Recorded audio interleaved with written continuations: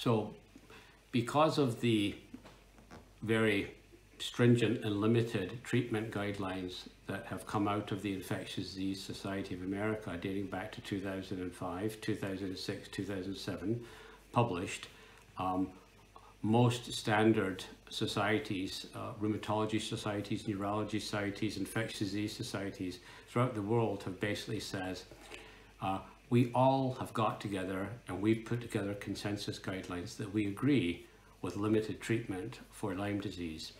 Uh, and even the most recent 2016 Swiss guidelines repeat exactly what was said in 2005, 6, 7, 8 in the IDSA documents that there is no such thing as chronic Lyme. Uh, if you're still sick after treatment, it's PTLDS, uh, post-treatment Lyme disease syndrome. But there are a group of doctors who have treated patients uh, according, according to alternative guidelines. And one of these groups is the International Lyme Association Disease Society.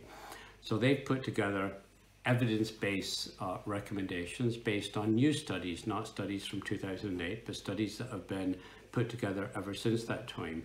And they recommend four to six weeks automatically with, with antibiotics for an EM rash and then they also recommended treating patients till all the symptoms have resolved and retreat if the symptoms recur.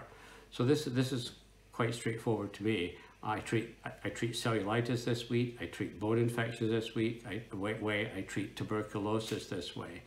Um, tuberculosis, you rec we recommend six months of treatment, but there's a five to ten percent relapse.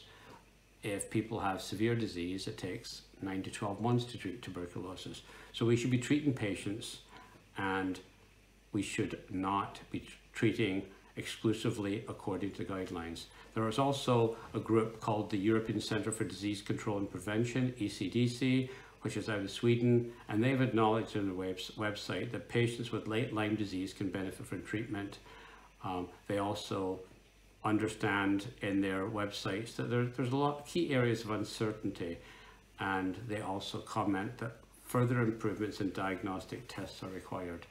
However, uh, most of the UK and Irish websites continue to say our tests are perfect, we only accept our tests and the treatment is se severely limited. And if you go beyond the NICE guidelines then, then you're in uh, default uh, of the system and patient GPs have been uh, punished in the past for going beyond the guidelines. Fortunately, that is changing, but unfortunately, patients who are well with a chronic infectious disease are being denied further therapy.